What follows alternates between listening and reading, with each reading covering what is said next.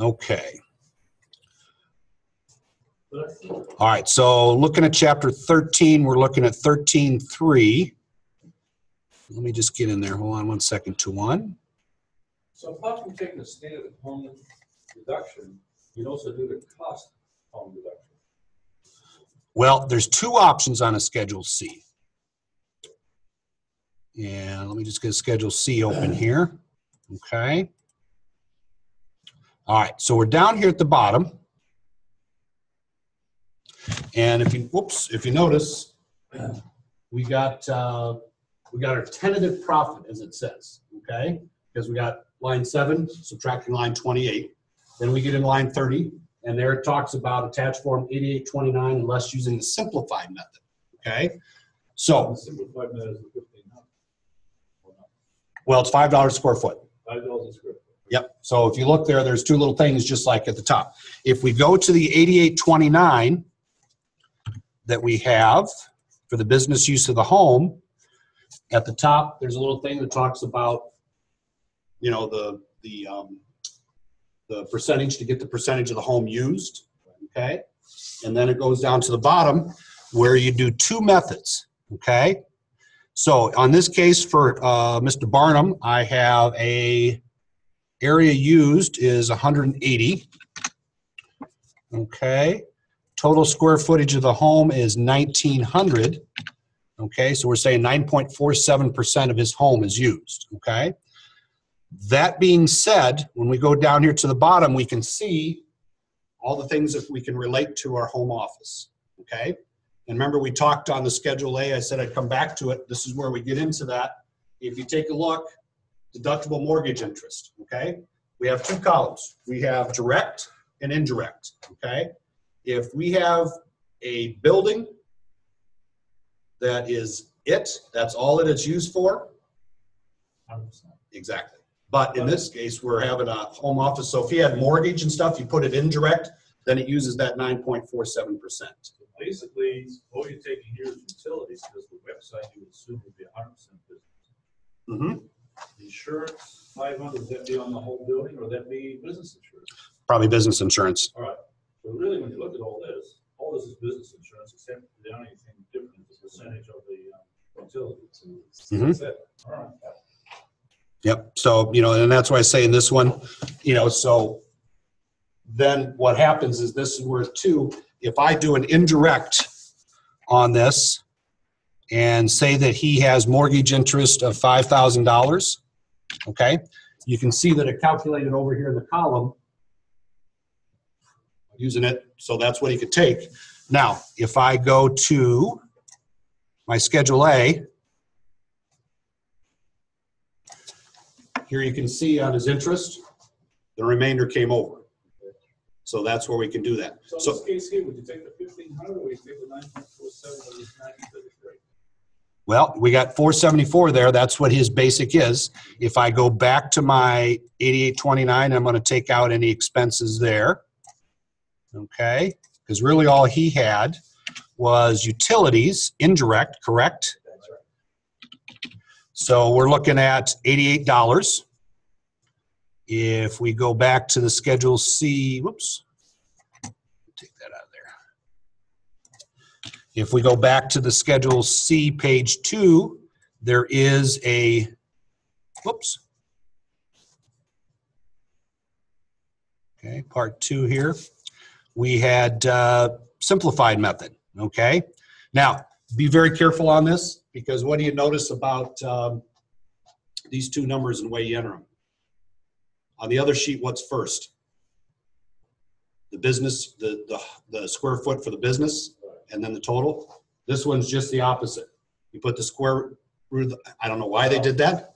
So, but it's flip flopped, okay? So we got total square footage of the home is 1900, okay? And he uses 180 square feet. All right. Now, what does that get him? Well, Nine hundred dollars, right? right, there's a So, lot more than ten percent of the utility. yep, yep. So, you know, that's probably the better. But remember about that, and this is why it's positioned the way it is on the Schedule C. We have our tentative profit. Okay? Can't create a loss. Exactly. However, what about depreciation now on the part of the building? But we don't have any information on that. But yeah, that would be that true. play. Depreciation on the building? Well, let's say you take the fifteen hundred, now you take it depreciation of the building. What's, what's the fifteen hundred? I thought it was a minimum of fifteen hundred dollars, that's what we would, I thought the, we were allowed fifteen hundred dollars for our home office. No, There's no minimum. Wasn't there? Some reason we put fifteen hundred there. Thought it was a fifteen hundred dollar charge. Maybe I'm wrong.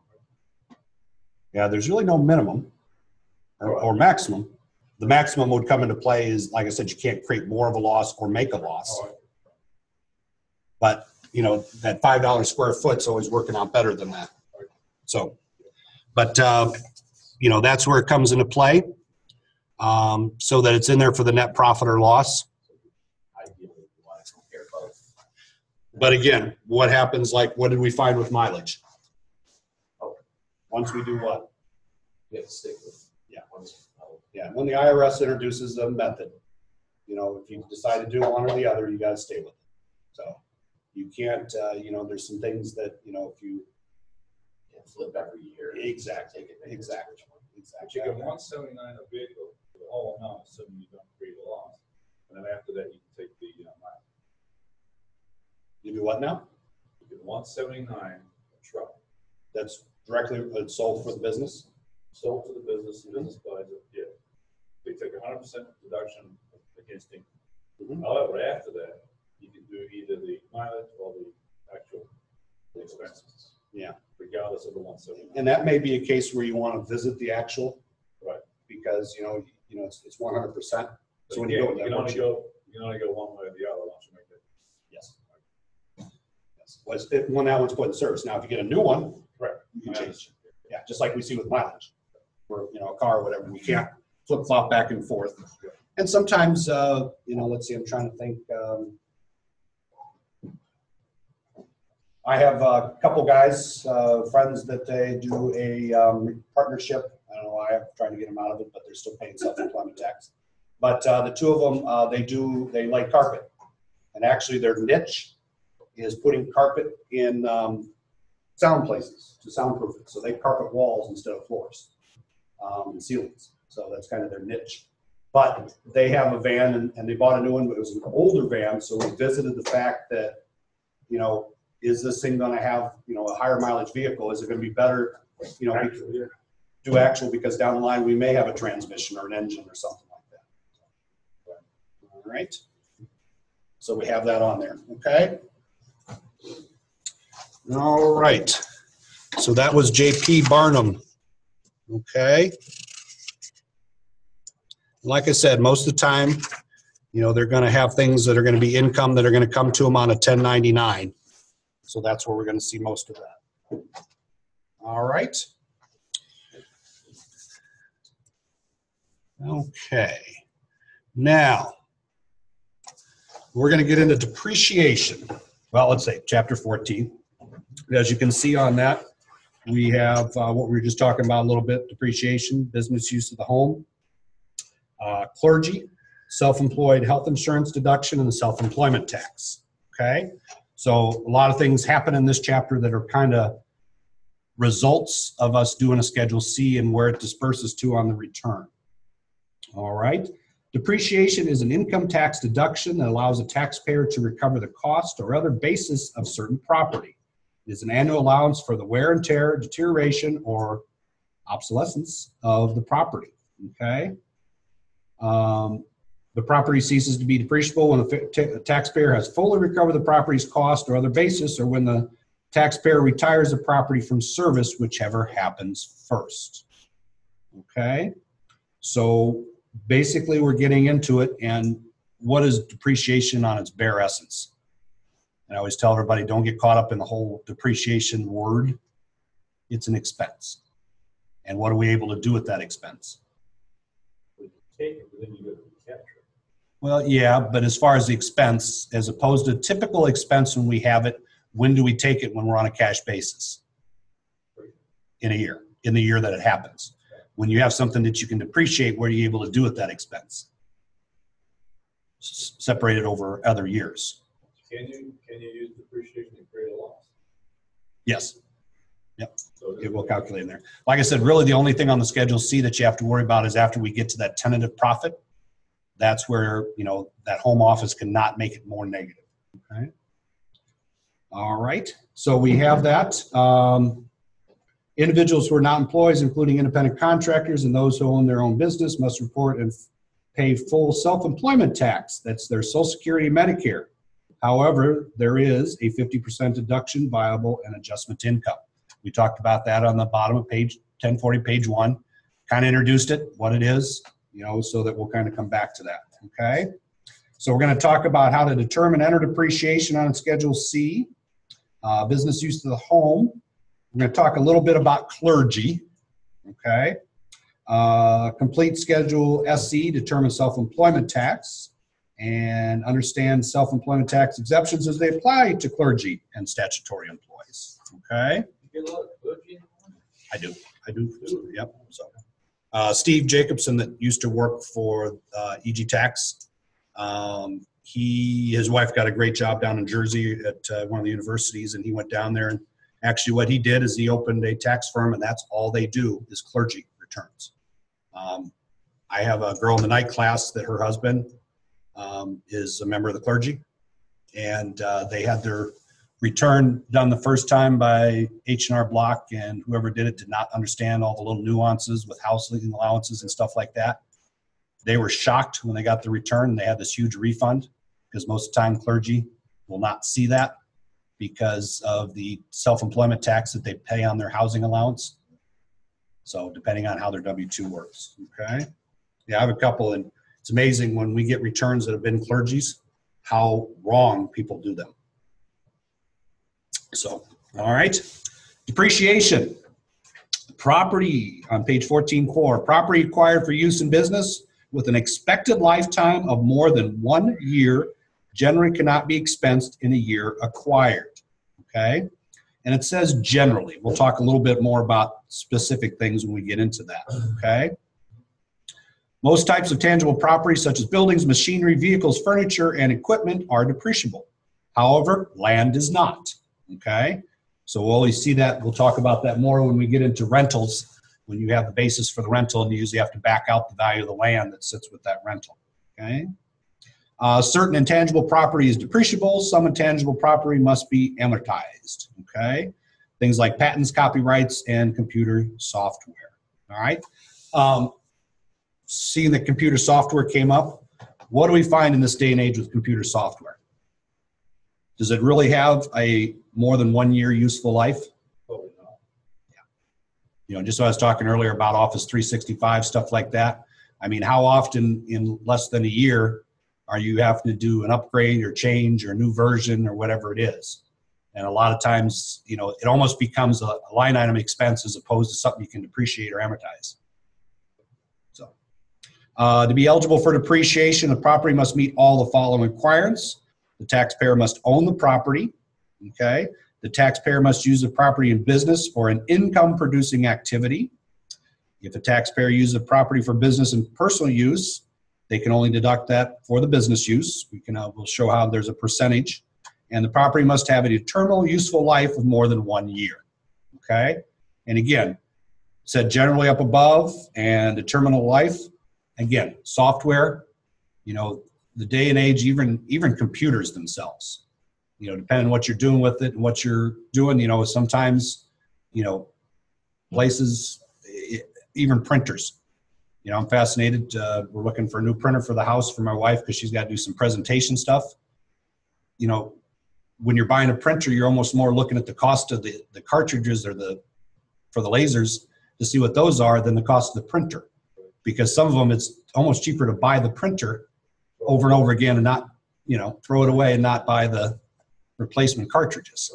So it's fascinating. So especially when you're looking at laser color printers. So good thing that her office is or her employer is paying for it. All right, even if a taxpayer meets the preceding requirements, a taxpayer cannot depreciate the following property. Property placed in service and disposed in the same year. Okay, kind of makes sense. Uh, equipment used to build capital improvements. A taxpayer must add otherwise allowable depreciation in equipment during the period of construction to the basis of the improvements. Okay? A taxpayer must identify several items to ensure property depreciation of property, including the depreciation method, the class life, whether the property is listed, whether the taxpayer elects to expense any portion of the asset. Um, Patrick's brought this up. A lot of times we'll bring up that section 179. And basically, what is that? You're allowed to basically depreciate the whole amount. And again, Expensive. when I'm talking about somebody that doesn't have accounting experience or doesn't have depreciation, I'm just saying, okay, we have an expense. Depreciation allows us to chop up the expense into little pieces over the life.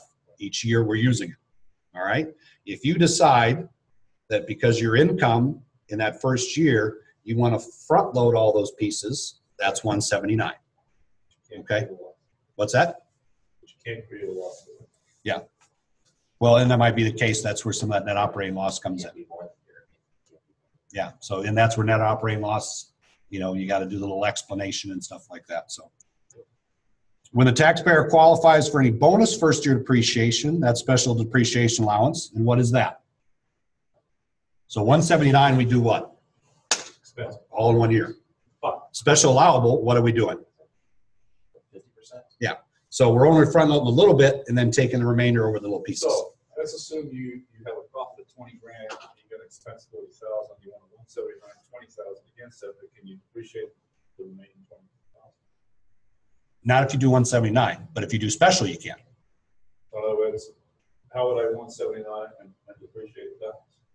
That's a special depreciation. I'll show you how it works on the sheet. So that would work. Exactly. And again, you know, some of that is talking with your client and really finding out what is the future of their business and the income flow. You know, when we're looking at a startup that's buying a bunch of assets, you know, do we want to waste everything up front?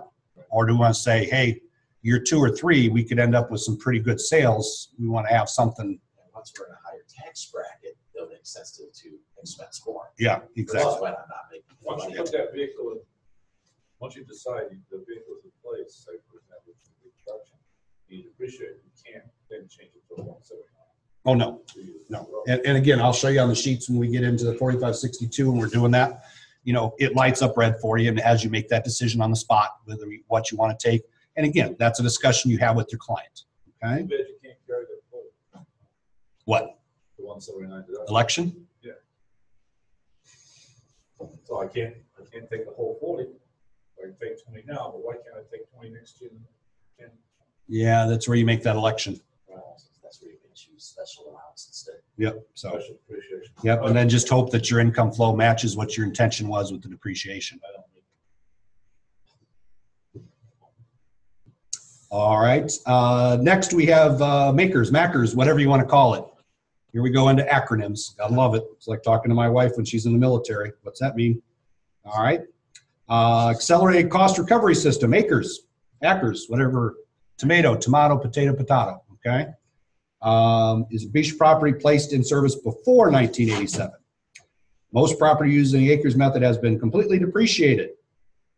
The MACRS modified accelerated cost recovery system is the property depreciation method for most property applies to business investment property placed in service after 1986. Okay. What's another method that comes into play? What's the old fashioned one that most CPAs always talked about? Oh, the straight line. Yeah, yeah, Um, computing depreciation, uh, the IRS defines recovery periods and certain allowable depreciation methods. Date placed in service, obviously, depreciation begins when you placed it in service, okay, for the business. That means ready and available for specific use, whether in trade or business, all right? Determining a property's basis. Uh, the depreciated property, its basis must be determined. The basis is often the acquisition cost adjusted for certain items. Okay? What would that be? What, what, what can we adjust on our depreciation? What if I bought this special press to make my widgets? What would something else that I could put on the basis that maybe cost? Probably all the hookups. Installation? Yeah. So, you know, that's, they have to come in and you know, this thing runs on gas or, you know, has to have a special outlet or a special electricity circuit, okay? Uh, depreciation allowed or allowable, when depreciating a property and later recapturing depreciation if necessary, the amount of depreciation to be recaptured is the larger the amount actually depreciated or the amount that was, where does that come in? Well, some people forget to depreciate their property for five, six, seven years, and all of a sudden, you're gonna be nailed with it anyway. Yeah, and when we get into Schedule E's, if somebody sells rental and they haven't depreciated, what's the IRS perspective? They don't care. You're paying back, you know. Too bad, so sad, you know. So, and we see that a lot of times with people coming in that, you know, have done the returns on their own or somebody else that hasn't done the depreciation correct. Uh, property class, we'll kind of talk about that, uh, the- all the different ones. We'll show that in forty-five sixty-two. And the recovery period is the number of years that is predetermined, okay? Depreciation methods, we got MACRS. We have a declining balance method. All right. Yeah, all right. We have what we talked about. Number two, straight line method. All right. Same amount for each year of the recovery period. All right. For example, we have a $500 refrigerator, five-year property, divide one by five, the recovery period, the annual depreciation is $500. The basis times 20%. So $100, that makes sense. The first and last year's deductions are prorated depending upon the date placed in service.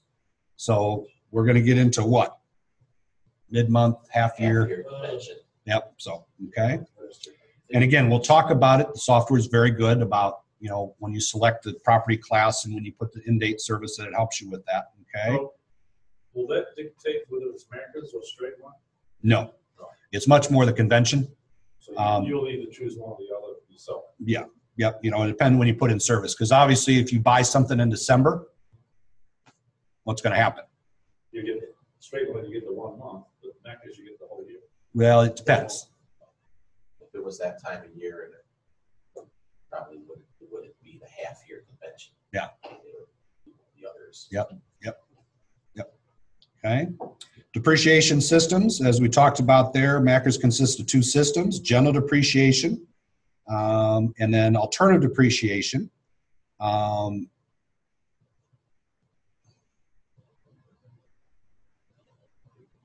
We'll see that on forty-five sixty-two, but uh, the fourteen seven has a great table to kind of help you uh, probably have that discussion with the client when they're choosing how they're going to depreciate something.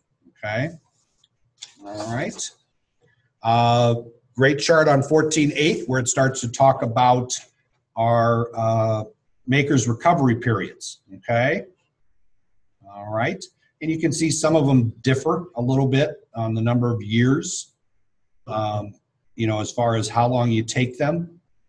Um, These people obviously never owned a rental property. Five years, that's the.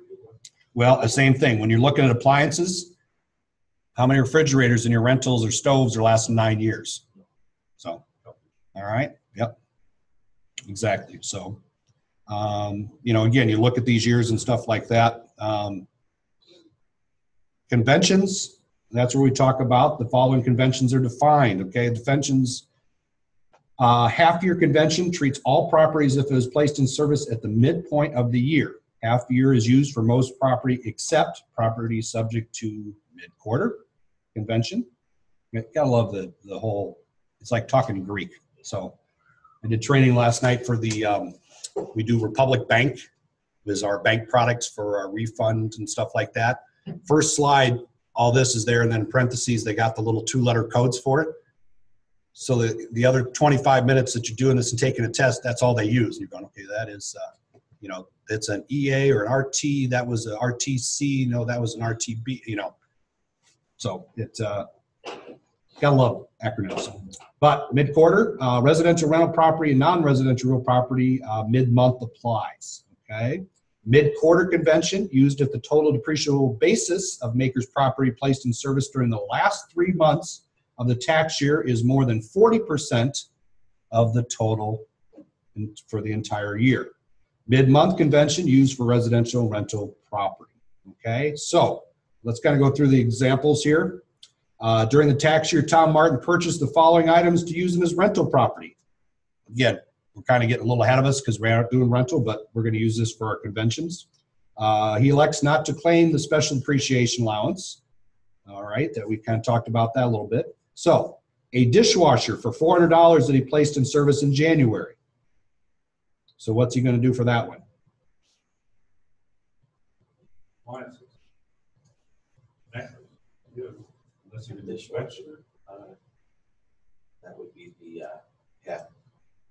If you bought it, in place of service in January, we would use the uh, half year convention. Mhm. Okay.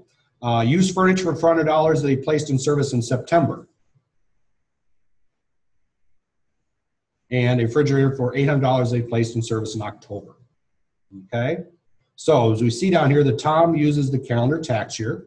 The total basis of all property placed in service that year is thirteen hundred dollars. That makes sense. We added up all the things we bought.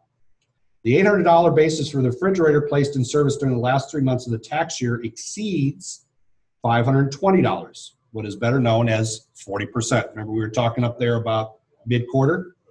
Therefore, Tom must use the mid-quarter convention instead of the half-year convention for all three items. All right, see how that works? So one dictates what you have. Sometimes one dictates the other. Yep.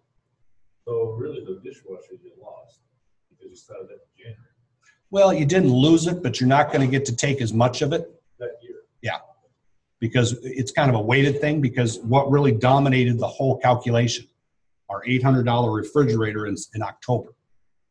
Okay? So is that because it's the most expensive? You do it that way or Well- because the, the last thing placed in service? both. Oh, really? yeah it's really a combination of the two. So- okay? So it's gonna use mid quarter for, for all of these, and they're all gonna be in the same, uh, category for depreciation. in the same calendar year. Yep so therefore you know because you know typically what would we see with the january one he could probably do what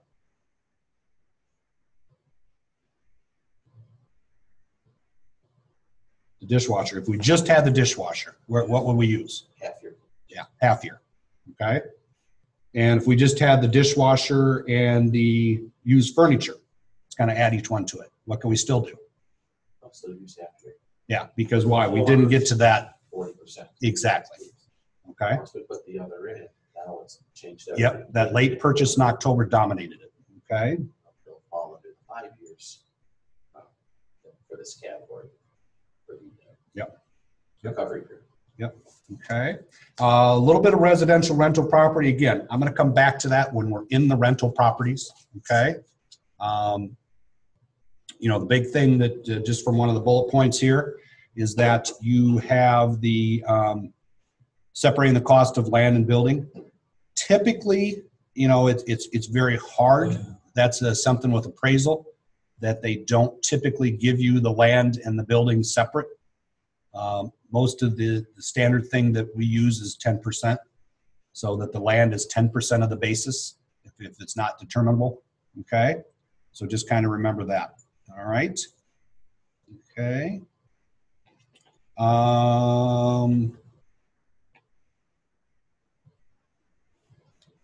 okay, so listed property at the bottom says some listed prop, some property is listed property uh, must be identified when depreciated and detailed records must be kept on the business portion of the use. All right, it has uh, deduction limits and special rules.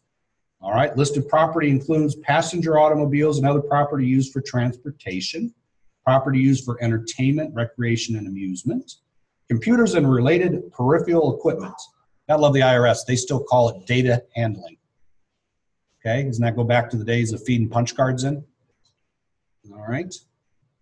So we have on that. Listed property used more than 50% for business is qualified property for, here's your cue, Patrick. Yep, okay. Yep. All right, so we kind of introduce it. If the taxpayer is an employee using listed property for performing services as an employee, the following requirements must be met in order to claim a deduction for depreciation. The property must be used for the employer's convenience, not the taxpayer's convenience. And the use of the property must be required as a condition of taxpayer's employment. All right? That's a pretty narrow, you know, stipulation on it, okay? Property used less than 50% for business has a special rules for calculating depreciation. Property is not qualified for a Section 179 election. Property must be depreciated using straight line method over the ADS recovery period. And excess depreciating property previously used 50% or more for qualified business expense must be recaptured in the first year in which it is no longer used for 50%. So in other words, if you had a rental property and you moved into it as a principal resident, you have to do a ca- uh, depreciation recapture those years prior to you moving. Yeah, so that's where we see sometimes where we have to do a lot of calculation for somebody that's been living in a double. Decides that, uh, you know, the single guy bought a double in the city. And, you know, that's been one of his income things. He gets married, the wife doesn't want to live in the double. So what are they going to do? Move out and turn the other half. Now what happens? What's this basically say? Well, wouldn't affect his side because he lived in his principal. But now as he moves out, then the depreciation will start at that point in time. Mhm. But I'm saying, let's say he has a, a rental arrangement, he rents. it. Mhm. And he had it rented for ten years. He depreciated for ten years of the rent. Now the wife says, I want to move into it. That's a nice place. This Uh-huh. is happening with us. They move in, now all of a sudden it becomes a principal residence. The rental is no longer a rental, so now he's got depreciation recapture. Yep. Which is income. Mhm. Against that property that he moved into, that could be significant. Mhm. Yep. Now, back, back to your usual comment though, because you made the comment earlier. So is that something that you would place in one of your prenuptials, Patrick? That we're not moving into any rentals I own? Yes. So, all right, I don't think he moved into it either. okay. Well, there's one was- All right, now, we have on 14, 12, 14, 13, and 14, 14, what do we have? Yeah, fun, huh? All right. Remember these from your accounting classes, Mark? Oh, yeah. All right.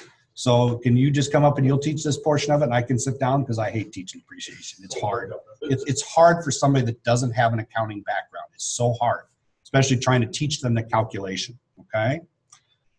So we see each, one of these. A subset of tables found in publication 946 is included here for the use of the following example in exercise 14A. Okay. So basically, we have our um, MACRS system, we have our depreciation method, our recovery period, our convention, our class, month or quarter placed in service, and that gives us which table to use. All right? Okay?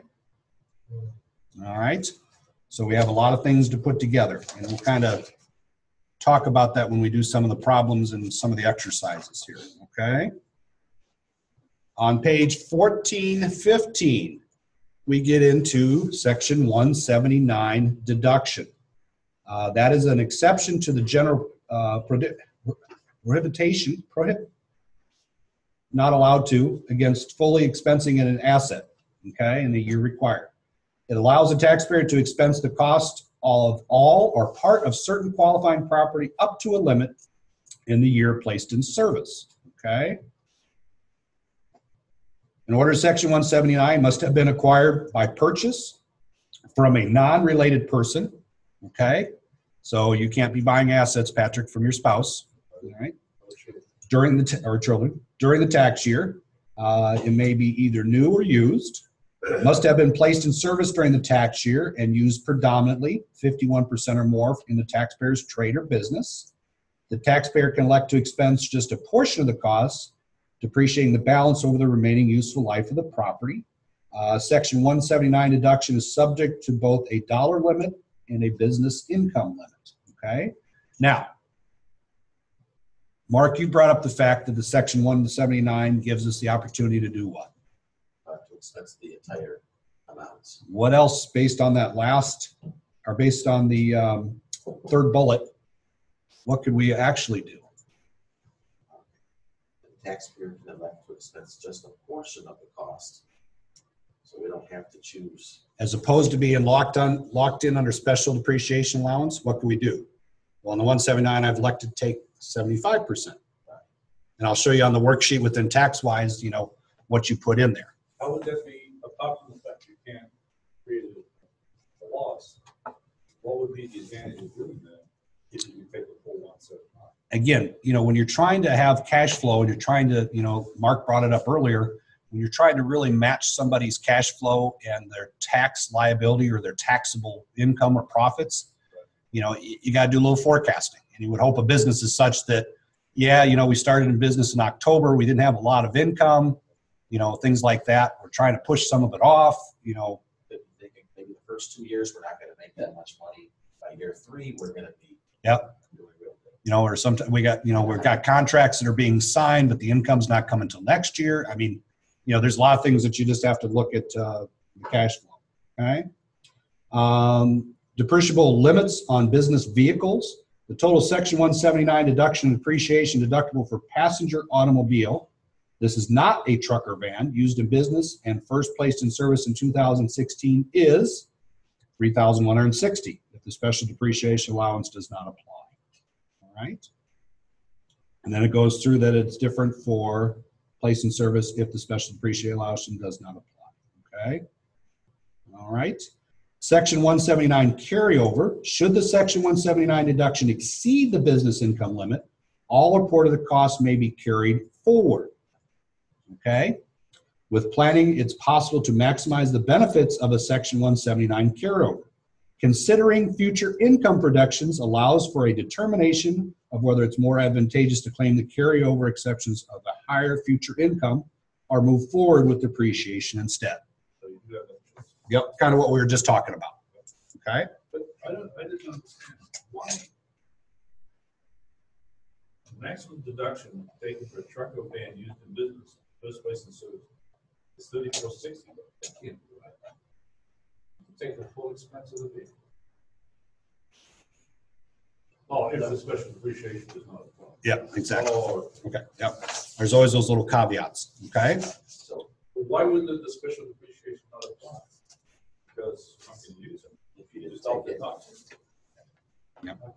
but in a case like that, we, so if I was still looking at my MACRS, I would compare it to that maximum deduction, Mhm. right? And uh, just make sure that the table might be saying I can deduct four thousand. Mhm. This is thirty-four sixty, we have to, we'll use the lower. Yeah, exactly. Or else we're gonna get a love letter. Okay, yeah, Um, page fourteen sixteen, special depreciation allowance, um, is an additional fifty percent allowance that applies to qualified property that was placed in service during the tax year. This allowance is taken after the section one time, one seventy-nine deduction and before figuring regular MACRS depreciation. Proration, proration, based on the date of service is not required. Okay? All right. Order to apply at the bottom of fourteen sixteen, order to apply depreciation options. Because section one seventy-nine special deduction are special one-time only options. They must be applied first if they are available and the taxpayer chooses to use them. Therefore, the depreciation order is one seventy-nine and why? Because we have the option of taking all, All or not. yep. Special depreciation, where's our first-year limit? fifty percent. Exactly. And then the rest of it is our, the state, the regular Let me ask you this, depreciation. if- Let's, let's say you could take it once or not, you don't force it to, right? You- you- No. But again, it's a one-time deal. Right, I understand. Yeah, so we can't just change our mind next year and, But The nice thing is if you take fifty percent of it, because that's what you can take that year, you can carry forward without, yeah, and for the appreciation. without, oh, why, this is depreciation. You're saying take half of the appreciation in the No, no, first year. Let's say, let's say you decide you can take, take forty thousand, you take twenty thousand this year, why can't you take twenty thousand next year? Uh, one seventy-nine. Because it's got, it's one-shot deal in the year because you're depreciating the remaining balance over the remaining useful life, uh, the useful life. Here it says you can carry forward the one seventy-nine. Uh, where you at? Oh, yeah, Back here, it was, uh, should exceed the business income, all or part of the cost may be carried forward, must be supported by the planning, plus the maximum that once a future income projected without for determine whether it be more or less to claim to carry over, um, doesn't say anything, or move forward with depreciation instead. So that would imply there that you can take, next year, I could take the balance of the twenty thousand as one seventy. So the other part I caught from- from this is if you do take that section one seventy-nine, and then the business use of that property drop below fifty percent in, a- in a year, then you'll be subject to that recapture. Mhm. Yeah, you know, so you always have to make sure because just what, and again, when we get the software and you see where we set up the percentage use, you know, just because, you know, kind of we're talking about the house, you know, you have to ask them, is this still, you know, strictly for the business or did you decide to, you know, put this in your house and use it at home? Right? You know, so you can't be depreciating a refrigerator that you had at the office and then decide, That's in the garage. yeah, now it's in the garage keeping your beer cold. So, all right. Who would ever know? What's that?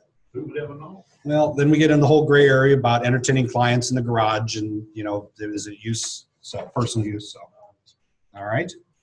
Um, example, pretty good little one here. Jay bought office furniture, seven-year property for ten thousand and placed it in service in August eleventh, two thousand sixteen. He was one hundred percent business. This is the only property he placed in service in this year. Why do you think they said that?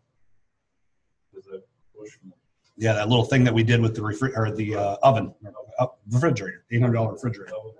So- Um, Jay did not elect a section one seventy-nine deduction, and the property is not qualified property for the purposes of special depreciation allowance, so his property's unadjusted basis is its cost.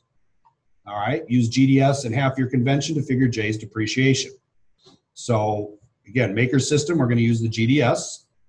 All right, so if we're looking at that, uh, based on going back to our little, um, Yep, so we're back on, what, on page fourteen twelve?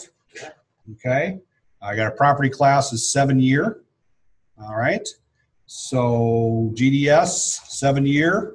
What's our next part here? Date placed in service, eight eleven sixteen. Recovery period, seven years. All right, so what is our method and convention? Gonna mm-hmm be the, uh, Half year, half year convention, Mm-hmm. half year, seven year, right, seven year, seven years, so, fourteen point two nine percent. yeah, per year. Mm-hmm. Yep, so, but what's it, what, using the first chart, which line are we using? GDS Half year, seven. half year, that first line, correct? 200%. Yep, so in what table does it refer us to? Down to table A1? All right, and again, software does a lot of this for you, but we have to know how to calculate because somebody comes in that doesn't have any history. So our first year is 0.1429, or better known as 14.29%. Okay, so there's where we do that. And typical IRS form, you got about six lines that you're just moving the 10,000 down the road on with that, okay? All right. So a couple good exercises there on 14, 18, 19, and 20. Okay. All right. And then we have on page 1423, we have a 4562. Okay. Depreciation, depreciation and amortization. Okay. If you want to write above or below this, we're just like the Schedule B, we're just like the Schedule D. So if I'm using those rules for our class, where is depreciation going to go? It goes on the 4562, but it does not go on the 4562. Okay? That's a TaxWise rule. So it's a worksheet. Exactly. Okay, just like we know from the B, we have that little worksheet. The D, we have our capital gains worksheet.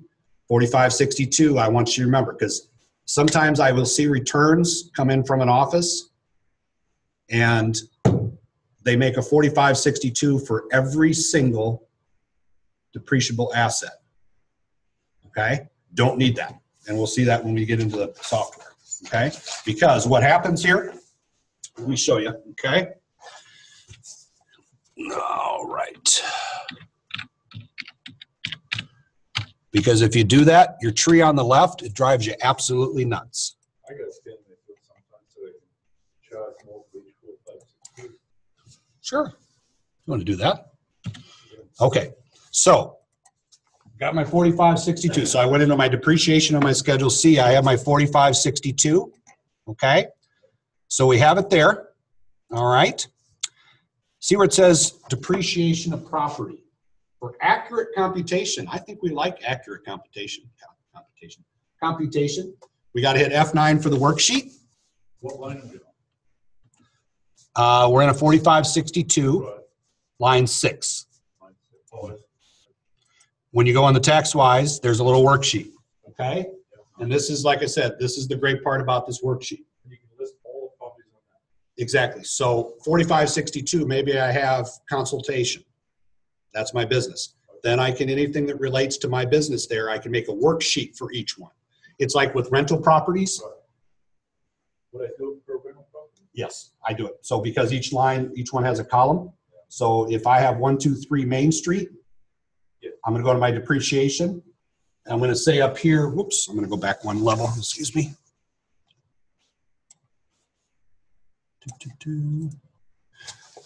Business activity for which this relates, I might put one, two, three Main Street or ABC Consulting or whatever. Okay, then once I'm in there, I can go back every time to this line six, get a worksheet, and then that way I can complete everything. Okay, So if you do a worksheet for each property, how does that come back to this one, four, five, six, two for all the properties? no, I'm doing a four, five, six, two for each property. I'm doing a worksheet for each depreciable asset. Because if you look at this, what's the first thing? I'm describing it. I might put one, two, three Main Street Main Street. duplex. I might put refrigerator, I might put carpet, I might put siding. But That's on the worksheet. right? Exactly. So then it just all falls underneath our forty-five sixty-two. So now when it comes back to the twenty-five sixty-two, it just shows description of property, cost of business use, electric cost. that's Yeah, it. that forty-five sixty-two becomes a summary, kind of like our Schedule D when we do that capital So when gains. the, old- Yes. when the, when the IRS looks at that, they just look at these totals, they needed more information, that's when they request the Mhm. worksheet. The Exactly. Worksheets are not included. In the electronic filing, no. Yeah. Because a lot of times when we see new clients, Right. um, we have clients come in.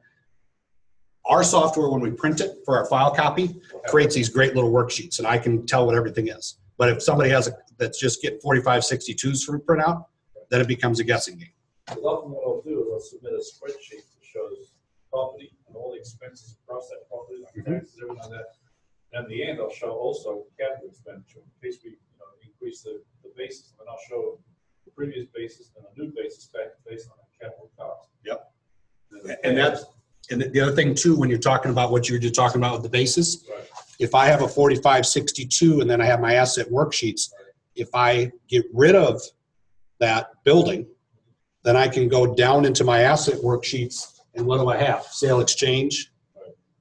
Okay, so I now have a button and I can keep relating it back and then it creates what we have to recapture. But the, the items you expense, if I don't have, well, how would you put in the capital expenditure uh, to relate to a forty-five sixty-two? Because it's all in the same one. So it's all in the worksheet. Yes. Okay, so in the worksheet, you have the stuff you expense on the year. Well, for each item, you, you, you know, you- you're trying to put everything onto one worksheet. Okay. Again, the forty-five sixty-two, if I have one, two, three Main Street Right. and everything relating to that, each has a separate asset worksheet. So each asset worksheet, wow, you gotta do that. For, like, for every fridge, every stove, everything I put into that property, Mhm. you're gonna create another worksheet. Yep, you should see my depreciation sheets for some of my farmers. Yeah, oh, man. So now, and then one of the, those, those worksheets may be capital cost. Right? So in other words, I, I put a new roof on. Oh, yeah, that, yeah, yeah, Okay, which is, okay. now, that increases my basis for the property. yes. Now, It does, it, it, it, well, but again, it's being depreciated on its own because of the time placed in service. It's not gonna go right on to the other asset worksheet and increase its basis. That's why I say when you go to sell it, you have to make sure that you not only get the original basis depreciation, you get all those other ones.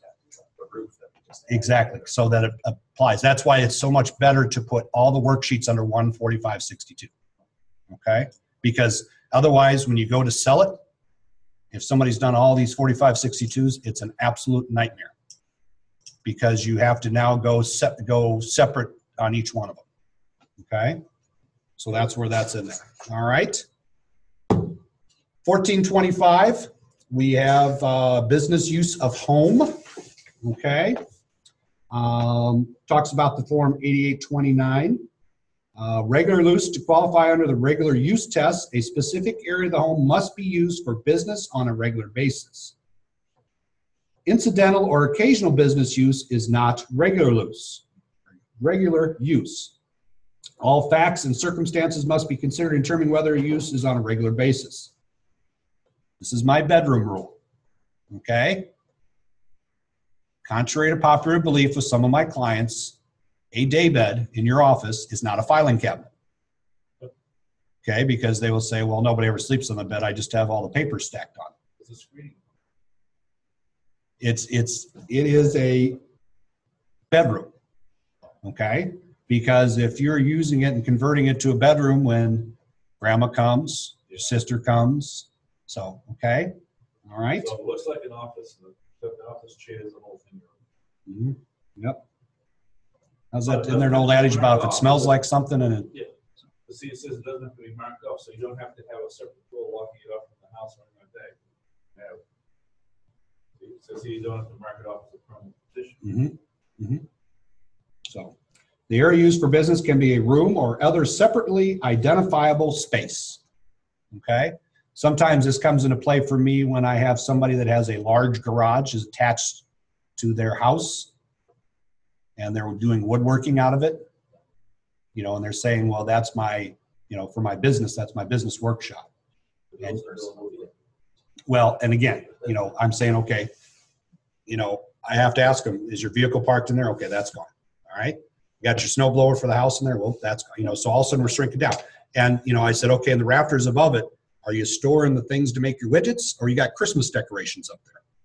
You know, so you're kind of, you know, you start to pare it down. So this 10,000 square foot pole barn that you built to attach to the house for your business may not really truly be that. Okay. All right. Um, okay. Um, on page 1427, it's kind of a little bit of what we talked about earlier. Once you've met all the tests, um, the next step is figuring out how much to deduct. Um, electing, you may elect to use the simplified method as an alternative to the calculation, allocation, and substantiation of actual expenses. The option to figure the deduction using the simplified method can may be made each tax year. Okay. All right. Using the simplified method, five dollars per square foot. And again, So maximum fifteen hundred. Fifteen hundred is a max. yeah, that's a big office. Oh, right. Well, no, it's not only a big office, it's also a lot of the utilities and everything else. Right. Is it based on square footage, is it also five dollars is based on square footage more year, because that's. I see. Well, the fifteen hundred doesn't necessarily mean you need the five dollars per square foot, fifteen hundred maximum may, may mean all your utilities and everything else. included. So the area used to figure the deduction is limited to three hundred square feet. So yeah, you're fifteen hundred. 1500. Yep. Um, I think they get some of that. When you look at all these, um, the uh, little strip office things they build everywhere, what do you typically see on the signs? That you're, they're, they're selling you the rate by what? Per square foot. 1455 a square. Yeah, you, you know, you see twelve to fifteen dollars is usually that square foot range. You wouldn't have to worry about it. Oh, I see. So they're saying a home is cheaper than the fourteen dollars and seventy-five cents? well, Well, let me ask you this, if you, if you have people come, say you have a home office, and people like, treat patients and stuff like that, you should be able to deduct a lot of the snow clearing and everything. there's things, again, it's percentage, yeah. Okay. Yeah, when you look at that eighty-eight twenty-nine, you know, it, it- it's not what you just think, the simple part of it, okay? Now, I did go round and round one time with a client that, uh, similar to what you were talking about, he had a home office that he was basically, you know, that's where his clients came to. Um, and he renovated the bathroom that was attached to that office. And what do you think we determined on that bathroom that's strictly attached to that office? Toilet on, that's it. A shower, and doesn't put, Okay, what if there was uh, not only access from the office, but from another hallway? It'll be partial use of the office versus the rest of the house, Yeah. or half back downstairs. Yeah, so you gotta kind of, you know, when you start looking at that stuff, you gotta really, you know, make sure you pick it apart because you don't want to just give them, oh, okay, so you added a bathroom to the home office and, you know, that's, that's direct. But what if you had three bathrooms in the house anyway, and you added this bathroom to the home office? You could argue that. Yeah. So, it- you know, again, you know, you have to really look at it because to, something like that, to take a one hundred percent direct, that's pretty tough to do. Okay? Yep. All right, so again, we talked about the eighty-eight twenty-nine, the business use of the home. If you look on the bottom of fourteen thirty, okay, you can see all these things that for the home office would come into play, all right? And when you're looking at nine through twenty-two, or excuse me, nine through twenty-one, a lot of items there, isn't there? Okay, it's not just what you typically think on your home office, all right? What's another one that's in there that sometimes people forget? Insurance. So this is the one opportunity where I have homeowners insurance, Home insurances, okay? they forget, What's that? they forget insurance. Yeah. Yep. Okay, and rent, all right? Because if you don't pay for the, if you don't own the house, you're not doing mortgage interest and property taxes, okay? All right, Well, would PMI be counted as insurance? no, because that's typically going to be at a mortgage interest. All right. Clergy. This does not do clergy justice. All right. Okay. Most members of the clergy are employees and should receive Forms W 2 with their religious organizations. Some churches will withhold federal and state income tax, and some will not. Okay. If no income tax is withheld, the clergy member should make estimated payments if no FICA, which is what? Social Security, Medicare, uh, is withheld, and no, and so Schedule E must be completed, because where are they going to pay it? All right, the value of lodging provided by the church or housing allowance to the extent it is used to pay rent or house payments, furniture payments, utilities, and other expenses of maintaining a home is not subject to income tax if the clergy member performs religious duties and functions. The clergy must pay self-employment tax on their wages, fees received, housing allowance, or the furniture lodging unless an election is to not be covered is made stating that the clergy member is conscientiously originally opposed to the acceptance of any public insurance. Okay? Members of religious orders who have taken a vow of poverty are not subject to self-employment tax on wages received for their services performed as an agent of the order and they are turned over to the order. Okay? Esther does a lot of clergy and, you know, she'll always talk about examples that she does and a lot of them come back to the point that their W-2 income may be very small and they're getting a $60,000 a year housing allowance. Does that make sense? Okay. $5,000 a month to cover to cover the, uh, basically, the pay or rent of a house, furniture payments, utilities, and other expenses maintaining a home. At at $5,000 a month, that's a nice house. Well, when you look at what the Catholic priests used to live in, some of those are names. Yeah. The one on the lake sold for ten million. Mhm. Yep, so. Uh, self-employment health insurance deduction, we talked about a little bit of that when we did the adjustment to income. So this is where, because we don't put health insurance on the Schedule C, it has to go there. Okay? Let me ask you this. You're self-employed, and, oh no, you're not self-employed if you work for an S corp, you're on S corp, right, or are you? Yeah, you're self-employed, you have an S corp. But if you have an S corp and you're getting a W two from it, where are you taking the health insurance deduction? Because it's coming out of the S corp. which is the smartest thing to do. Mhm. Okay? Yeah. Because it's much better to lower that income than it is to make an adjustment to income there. Okay? All right. Okay, uh, self-employment tax fourteen thirty-six, okay? Basically, again, self-employment tax, take your profit, multiply by 0.9235, Then you figure that that is, uh, self-employment tax is 0.153 of that. And if it's over 118,500, then you must pay the additional 0.029. Then we have a 50% of that, okay? Patrick's going, wait, wait a sec, what now? Okay, those are the percentages, Fifty percent is if you're. self-employed. After the self-employment. Yeah, that goes on to the adjustment of income. Because if you're W two, your employer, you should it.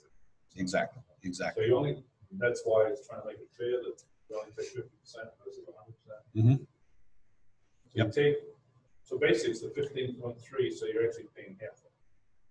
Half of the fifteen point three, but first it's adjusted by what? 0.9235. So it's not all one hundred percent of your profits. There is an adjustment that starts off there at 0.2935. But that's not really that much of an adjustment. No, it's almost ten percent though. Would you rather pay tax on that extra ten percent? Not rather cheap. Okay, all right.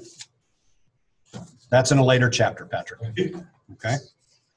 All right, so again, they got you some things, they do calculations on here. Like I said, the biggest thing is, whatever our profit is, we're gonna pay social security Medicare tax on it. And remember, this is something that we're not, is a tax we're not gonna eat up with a credit, okay? Because where's, it? up- can't you eat it up with HSA or something like that? no, You'd be able to eat it up with some, some. the self-employment tax? Well, you, Well, yeah, but I mean, you can, you can eat up the adjusted gross income. yeah, you with the can there. So you end up with hardly any income at all. Well, but, what I'm saying is, is if you look here, we did up above, we did, um, we had our tax on our income, okay? We have our refundable, our Pac-Mans eating up our tax bill. This comes under other taxes. So basically, what is it saying? Even if I've taken and I've had refundable credits eat at my tax bill, what happens? I'm still gonna pay self-employment tax. But on one total. Why are the, uh, Pac-Man taking off or? after.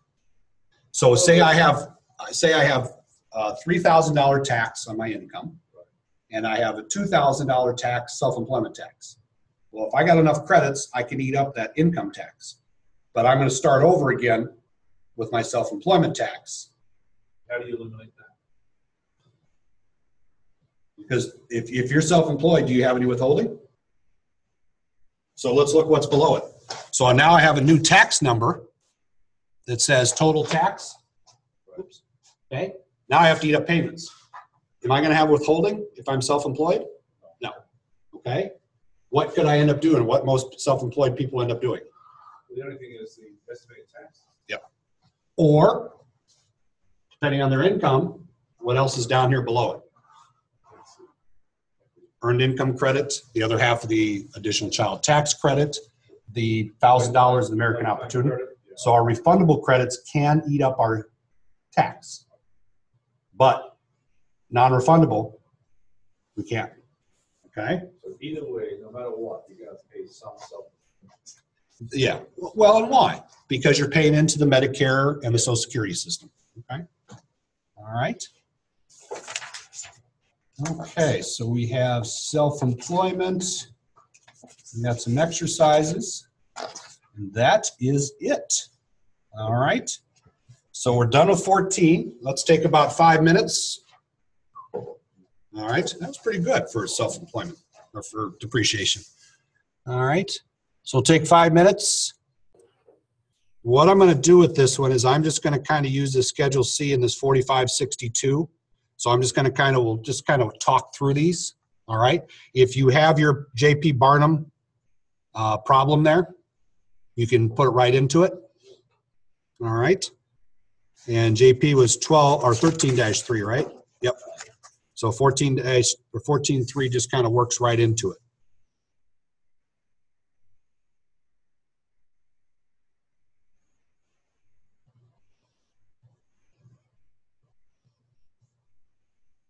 Okay.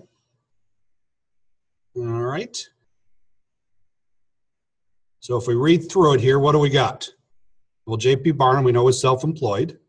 Due to the success of his insurance sales, he decided to buy his own store. So he's going to become a brick and mortar as opposed to working out of his home. All right. He purchased a small office building in his hometown. The cost of the building was thirty-three thousand. The building was, will be solely used for his business. And then he did the following upgrades before opening, That's all that took place, okay? except for computers and printers, I would say. hmm Okay. All right.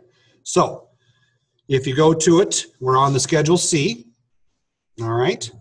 So on that Schedule C, we're in again, and like I said at the outset, depreciation, we want to think of it as an expense. Don't get caught up in the language. Think of it as an expense. Okay. We look at line 13. Whoop. We look at line 13 um, on our Schedule C, Part 2. And once we see there, we see depreciation and sex one, section 179 expense deduction. Okay? All right. Okay. So we have that. Okay, so we're going to go in there. We're going to hit F9. What's it give us? 4562. Okay? And again, Everything goes on the 4562 for depreciation, but nothing goes on it. All right? So, business or activity to which this form relates. What was it? Insurance sales, right? And again, this is where you kind of create a header, if you will. You know, it's kind of like uh, the cloud. What do you do for different things? You create a folder for it. All right? So, we're creating a folder for our insurance sales, things we're going to depreciate in there and that's what our 4562 is. Now, after we've created that, we're going to go down to where it says description of property. Okay? And again, it says to us for accurate computation, F9 to worksheet. I like the idea for accurate computation. So I'm going to go in there, hit F9, I get my little asset worksheet, and that pops it right up. Okay? So we got our business asset worksheet. What's the first thing we're going to put in there probably? What did he buy first? Office building, right? Okay. So we got the office building. All right.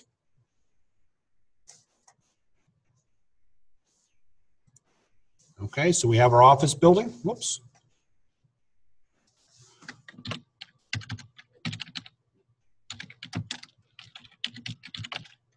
Okay. All right. Okay, now, date placed in service. Doesn't have it in here, should. Um, we're gonna say that he bought it. Uh, let's see, shopped around. What's a good time? When's a good time to buy office buildings, Patrick? Is there a time of the year that's better than others? Uh, January. Okay. We're gonna say he bought it January first then. Of the tax year, okay? So that's his date placed in service. All right? Now, asset type. If you hit it, what happens? Yeah, drop down. And this is where we have a bunch of options, okay? All right.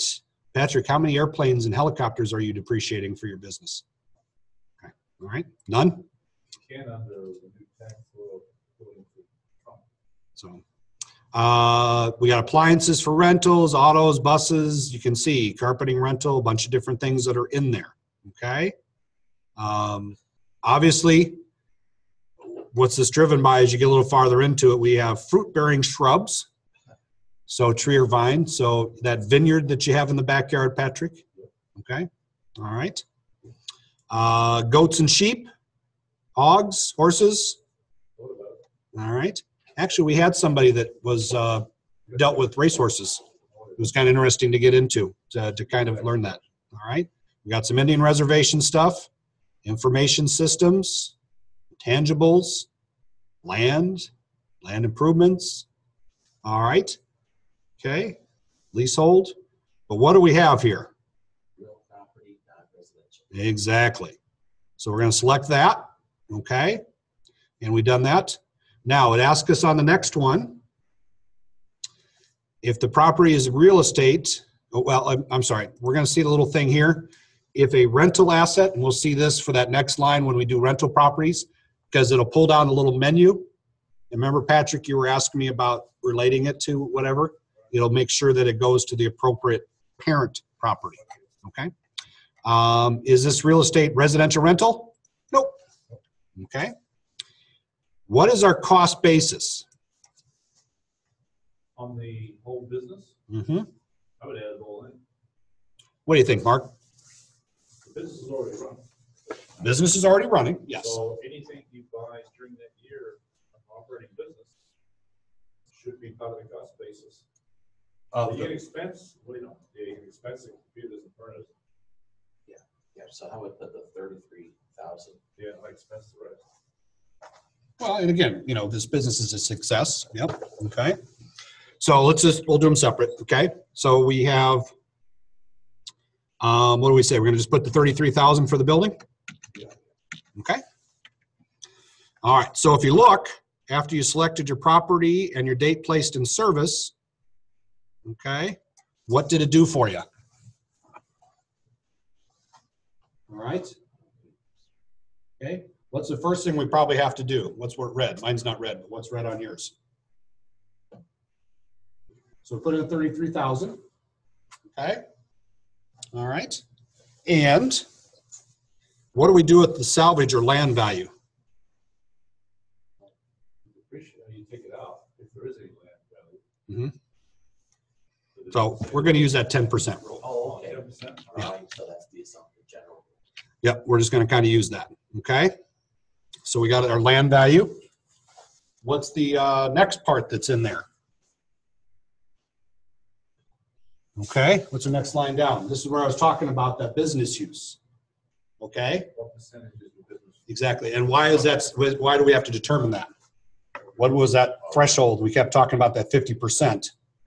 Okay, and in this case, he's using it solely for business, so it's a 100.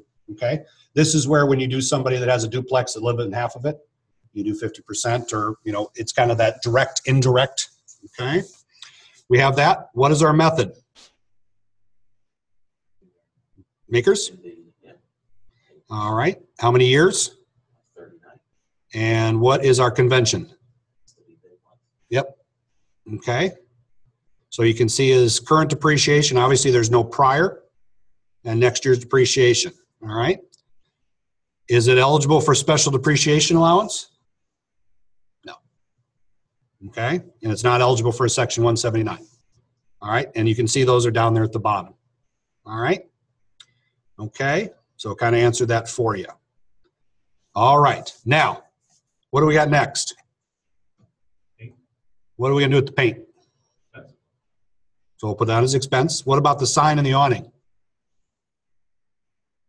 Well, it's more than twenty-five hundred units, so you'd have to expense that, but you'd have to- Appreciate that? Yep. Okay. owns the office. Yep. So what we're gonna do is hit a copy of the asset worksheet.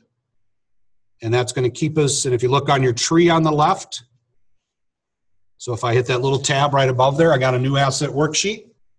All right. And what shows up on my tree on the left? Remember I was saying about the hierarchy? I have my forty-five sixty-two and now I'm starting to get asset worksheets underneath it. Okay? Because what would happen with this building since he owns it down the road? Possibly. Might sell. And if we have those asset worksheets there together on that forty-five sixty-two, we can make sure, all right? That we, we get those recapture things in there. All right, so we have that. So what do we got next? Sign and awning. Yep, so like I said, go up to the tab right above it where it says copy asset worksheet. Yep, right above, you know, the add form, and then the next door was copy it, kind of like we do with W-2s. And what pops up there? Pops up, and where's it leave it for us? Right underneath that 4562. Okay, and that's where, that's a great tab to use. All right, so we got a sign and awning. He bought that as part of the original. So what is our asset type?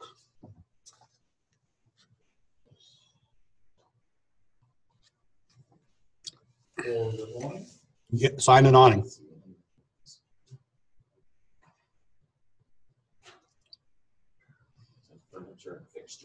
Hmm, Not really. It's become a part of the original. So what are we gonna probably put it under? Oh, okay, so you're gonna.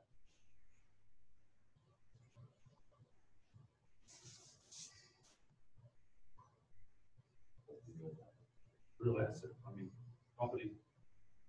Real property, non-residential. Yeah, Real Just property. put it to the same, and gonna be a. yep. And he did it when he bought the property at the beginning of the year. It's not rental. We're gonna do uh, forty-three hundred. Okay, hundred percent. Obviously, there's no land attached to it. So we kind of have it where we have that. And again, is this eligible for anything on the special depreciation? No. Okay. What do we have next? So again, gonna go with the white tab up at the top above the, the S on the, uh, just underneath the, the tiles. We have office furniture. Okay. And in our asset type, what do we have in there? Furniture.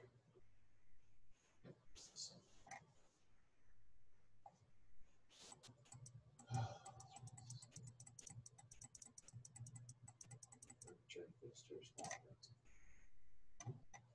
Yep. Okay.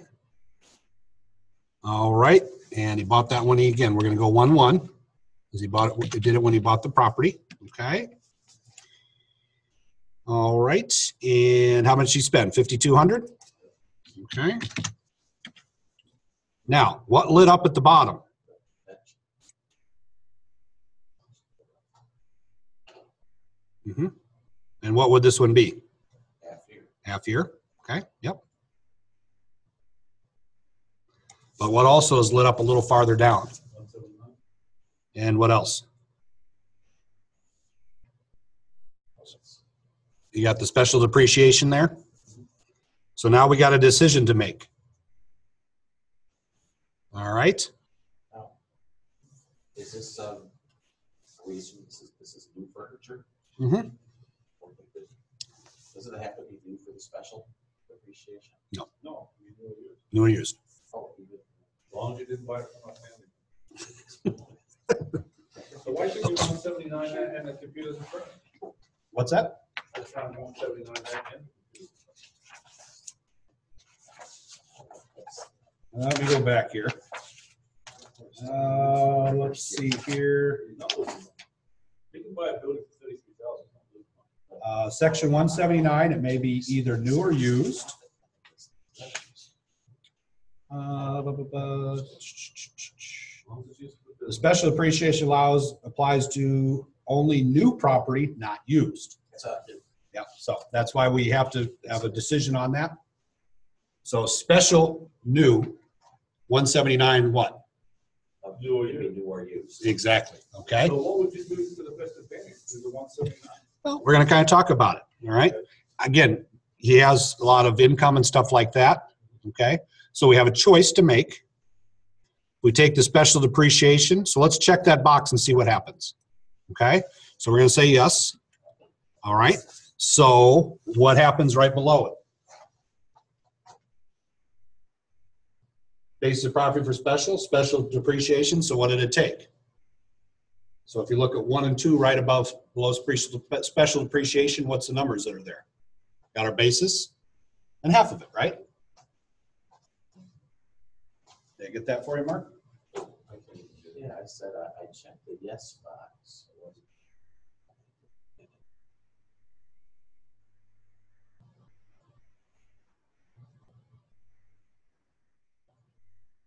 Yes.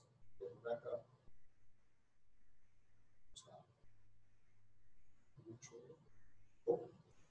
Because you're trying to appreciate in the future. Remember, you're oh. in 2016. My bad. Oh, okay.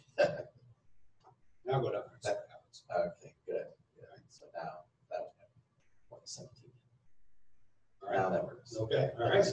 Perfect. Okay, like, where did it go? Yes. All right, so we have it, we can see. Now, what else shows up though, too? We go back up to line six and seven there, where depreciation is up there right below our convention. What do we see? We start with our basis for depreciation is the other half. First year, second year, okay? All right. So basically, what are we getting for total depreciation on this, the first year? What's the amount? So we're getting the uh, twenty-six hundred Plus what? plus the three seventy-two. Exactly. Okay? All right, Nine seventy-two first year. Yep, exactly. Okay? Now, what if we say no there? Is this eligible for a 179? All right. Patrick, Patrick likes that 179. Okay. All right. So what are we able to do? So on the 179, what happens? So we're not taking special, where's it going to be calculated at? Even though it's checked as yes, where is it calculated? Down here at the bottom. It doesn't automatically do that. Why? Because it depends on me. Well, it does, depends on income, but it also depends on what? What's the other thing we talked about?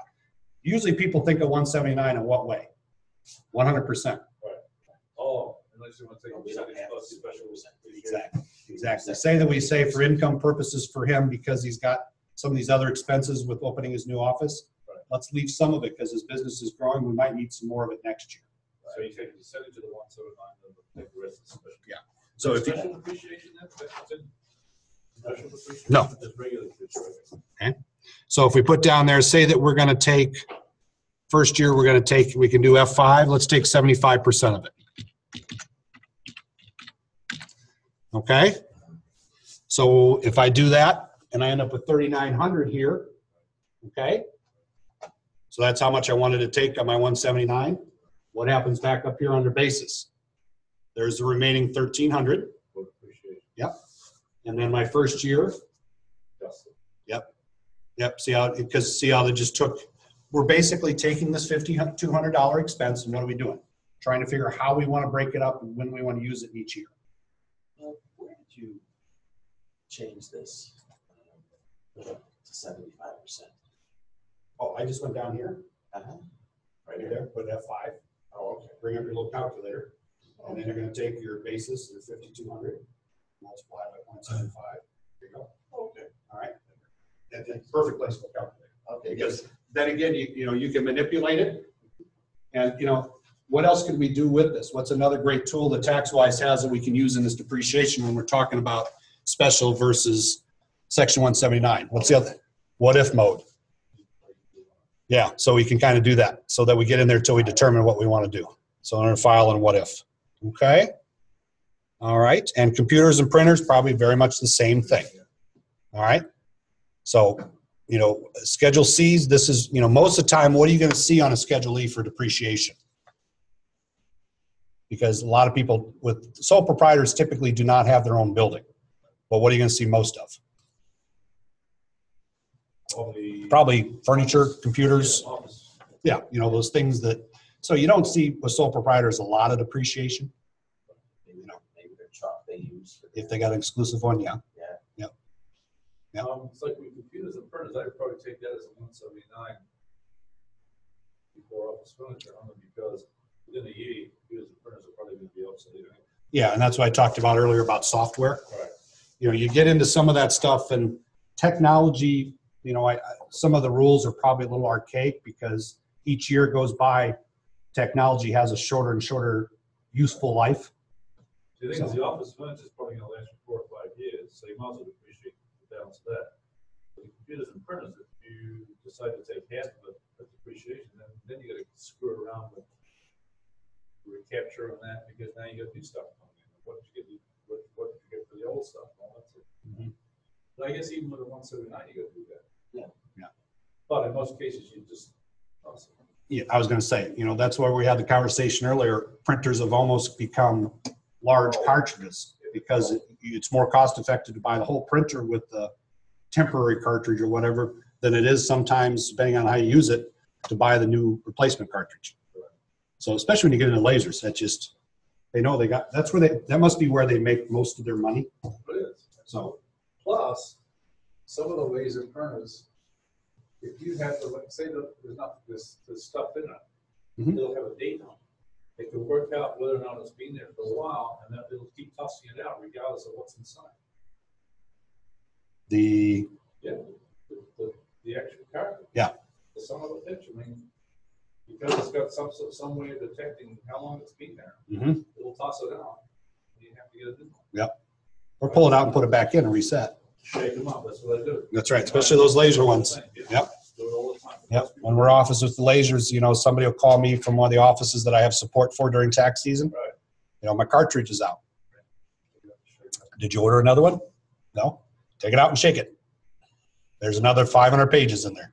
Disconnect, unplug it, put it right back. Yep, yep. The, you know, every, everybody has IT knowledge. Turn it on, turn it off, take the cartridge out and shake it. So, and that's about the extent of my IT. So, So computers and printers, we just make, do another worksheet mhm. and then categorize it. To categorize under computer software, nope, office equipment, nope. data handling, Remember I said that archaic term? data handling. Okay. Yeah, like I said, when I, as soon as somebody said, uh, first time I heard data handling, first thing I thought of, I'm going, I picture, you know, a PC the size of this room, somebody standing in there feeding punch cards, Uh-huh. you know, data handler, Right. you know, coming in with their little stack of cards with all the things and putting it in there. So lab, that's what we did. Yeah. So last year engineering. Yep. Yep. All right. Well, I can even remember, you know, taking, you know, the old Pascal and PL1 and C and stuff like that programming language.